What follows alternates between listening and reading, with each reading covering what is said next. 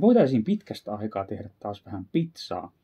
Ja tällä kertaa ajattelin tämmöistä savuahven, aurajuusto, ananas, suppilovahvero pizzaa.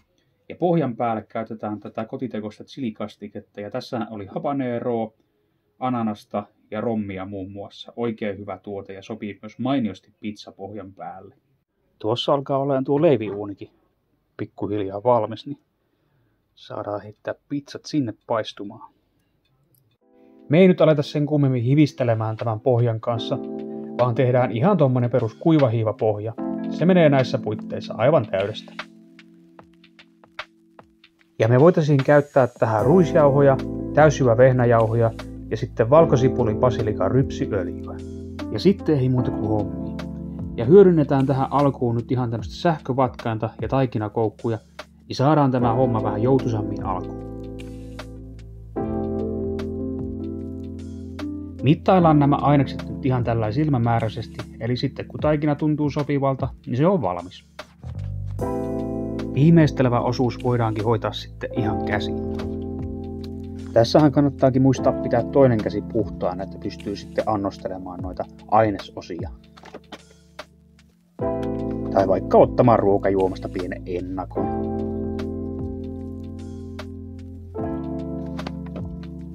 Tällä lailla sormituntumalla löytyy kyllä paras koostumus taikinaa kuin taikinaa, tai ainakin näin meikäläinen on tottunut lähes kaiken tekemään.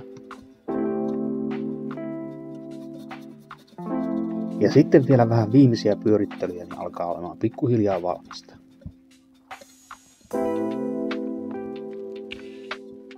Ja siltäpä se sitten taas näyttää. Me voitaisiin nyt taas heittää se sitten tuonne leiviunin päälle vähän kohoamaan ja katsotaan tuossa noin puolen tunnin päästä, että miltä siellä näyttää. Ja vielä tässä kohtaa voit levittää noita hiiliä tasaisesti tonne arinalle, jotta siinä on semmonen kutakuinkin tasainen lämpötila kauttaaltaan.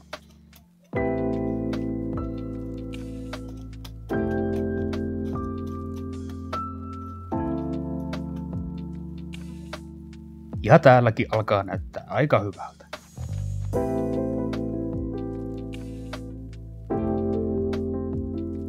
Tästä taikinamäärästä tuleekin nyt tommonen noin kaksi pellillistä pizzaa. Niin otetaan siitä ensi alkuun toi eka puolikas ja lähdetään pyörittelemään sitä tähän paperille.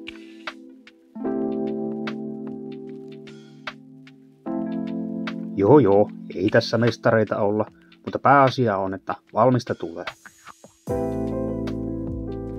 Tuossa huomasin, että tuo oma tomaattikastike alkoikin ole aika lopussa, niin jatketaan sitä hiukan tällä sweet chili kastikkeella. Tää on onneksi tätä tämmöistä versiota, jossa on ihan niin paljon sokeria, että ei tule ihan tolkuttoman makea sitten tästä pohjasta. Mutta näin, kun levitellään tätä omaa tähän, niin saadaan siihen kivaa potkua ja semmoista tie- tiettyjä aromeita.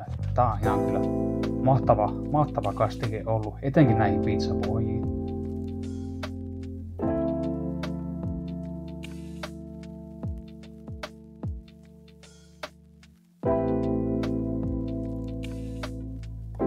Ja pidetäänpä nyt sitten huoli siitä, että sitä on varmasti joka paikassa. Ettei jää sitten kuivia paikkoja tuohon pohjaan. Ja sitten avataan tämä ahvensäilyke ja katsotaanpa nyt ensi alkuun, että minkälainen tuote tämä on. Eli nämä on aika isoja paloja täällä sisällä, mutta ei se mitään haittaa. Hyvältä ne näyttää. Rikotaan niitä hiukan pienemmiksi paloiksi, niin on sitten varmasti joka paikassa tuota herkullista ahventa.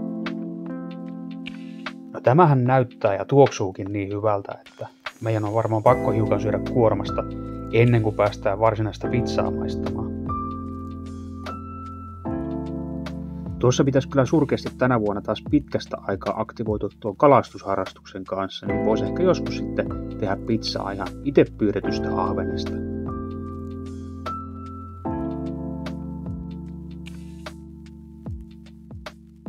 Ja mutta pidetäänpä nyt huoli, että tuota aaventa riittää tuon seuraavallekin pellilliselle.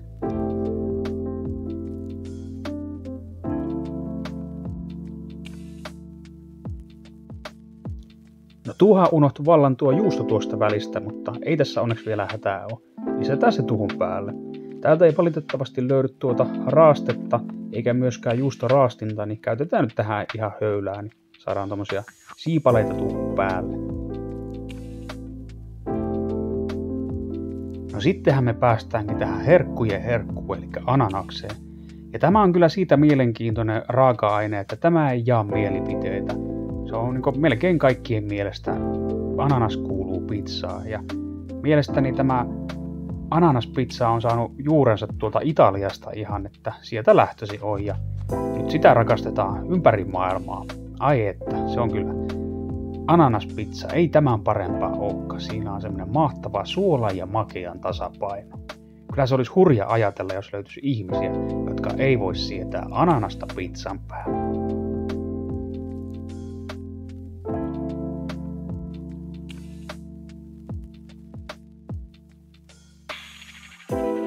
Ja pidetäänpä nyt eritoten tämän kanssa huoli siitä, että sitä on varmasti joka paikassa.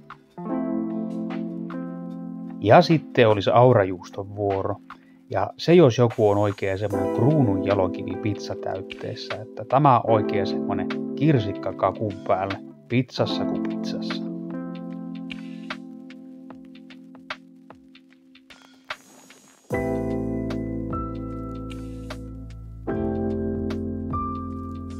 Valiohan lanseerasi silloin jokuisia vuosia sitten myös sen aurajuusto jäätölö ja tulihan sitä itsekin silloin kokeiltua, mutta ei se kyllä omalla kohdalla jatkoon mennyt. Mutta tämäkin on kyllä niitä kuuluisia makuasioita ja niistähän ei voi kiistellä. Ja sitten vielä viime silauksena heitetään siihen näitä viime syksyisiä suppilovahveroita. Nämä on ollut hetken aikaa tuossa vettymässä, niin voidaan lisätä ne ihan suoraan tuohon päälle vaan.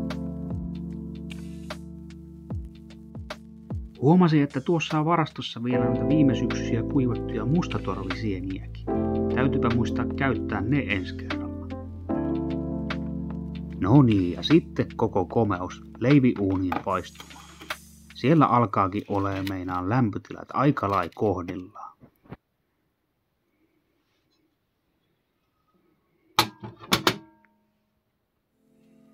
Otetaanpa sitten pieni väliaikakaltsaus, että mitä täällä uunissa tapahtuu. Hyvältähän se näyttää ja tasaisesti kypsyy. Ei ole näyttänyt edes palanneen vielä. No nyt siellä varmaan pikkuhiljaa alkaa olla valmista. Napataanpa se pelti siitä pihalle ja katsotaan minkä näköinen se on. No hyvältähän se näyttää. Kerrassaan herkulliselta. Ei muuta kuin seuraavaa pizzaa sitten uuniin.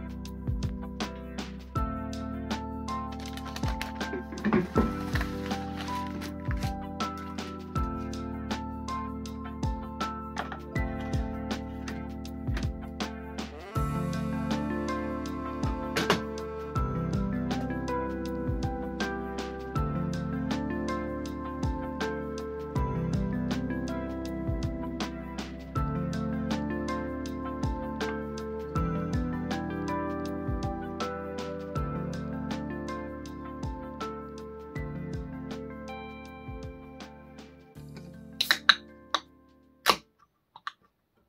Jaha, maistetaanpa sitten.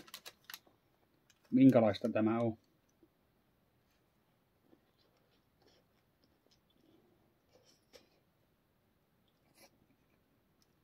Mm.